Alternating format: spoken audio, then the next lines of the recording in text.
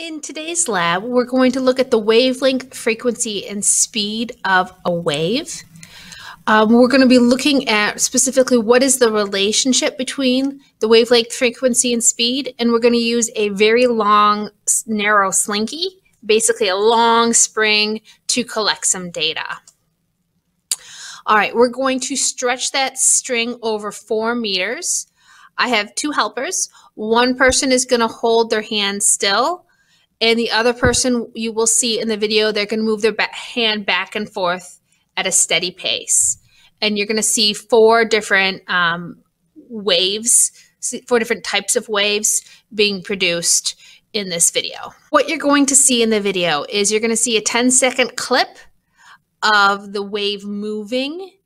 Then I'm going to pause the image and I will have written in what the wavelength is based on the meter sticks on the floor. And then you're going to see four different trials of this.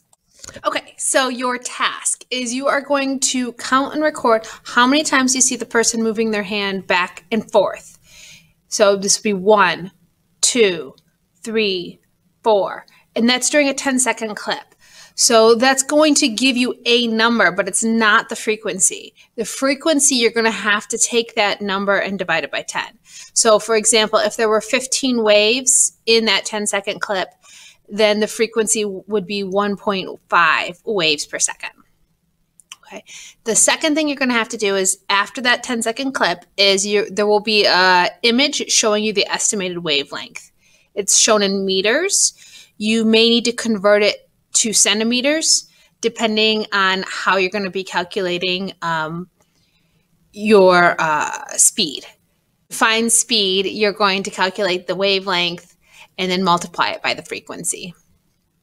So this is the data table that I have my students fill in. Again, um, this is off the screenshot. This is from the counting from the video clip.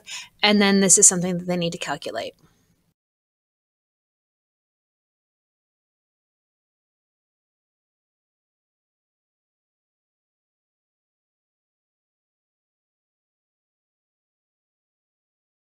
This first wave is so big that um, you can't see the entire wavelength of crest to crest in the image.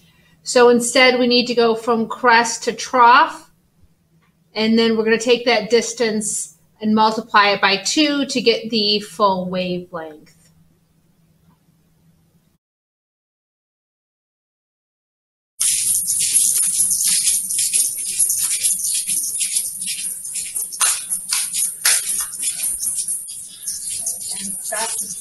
Here is another wave here. And we are again measuring from crest to crest to find the wavelength. So each square tile is one foot across. I used that to figure out how many feet across it was from crest to crest. And then from that, I calculated roughly how many meters.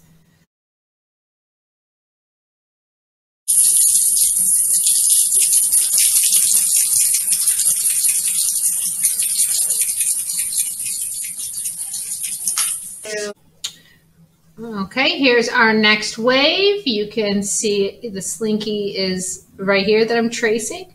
So the wavelength is crest to crest. This is in meters.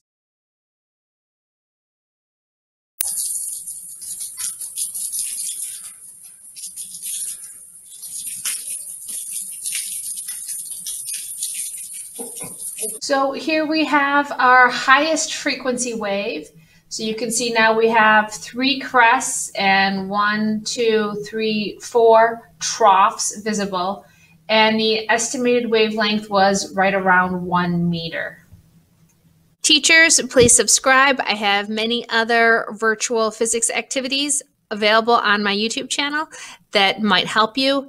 And the best compliment you can give me is to subscribe and give me a thumbs up.